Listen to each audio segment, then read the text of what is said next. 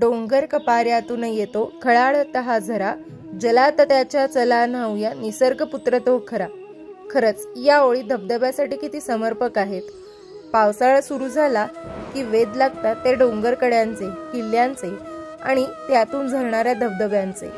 आम्ही सुद्धा हिरव्यागार वातावरणात धुक्याची चादर ओढलेल्या रस्त्यावरून निघालो काळू वॉटरफॉलकडे नमस्कार मी गंधाली. तुमचं गंधाली वर्ल्ड या माझ्या युट्यूब चॅनलवर अगदी मनापासून स्वागत करते. माळशेज घाटाजवळ असणारा हा धबधबा माळशेज घाटातील सगळ्यात उंच धबधबा आहे. बाराशे फूट उंचीचा हा धबधबा बघायला आम्ही पोहोचलो सगळ्यात वरच्या टोकाला जिथून तुम्हाला रिव्हर्स वॉटरफॉलचा फील येतो.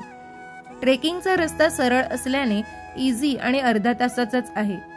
छोटे छोटे झरे ओलांडत निसर्गाचा आनंद घेत हा ट्रेक कधी संपतो कळत देखील नाही. डोंगराच्या टोकाला पोहोचल्यावर धबधब्याचं ते रूप पाहून मन हरकून जायला होतं. मला मात्र नेहमी एक प्रश्न पडतो की छोट्याशा झऱ्यापासून निमुळत होत जाणारा त्याचा हा प्रवास खाली कोसळताना मात्र त्याचा आवाका अचानक कसा काय बरं वाढत असेल?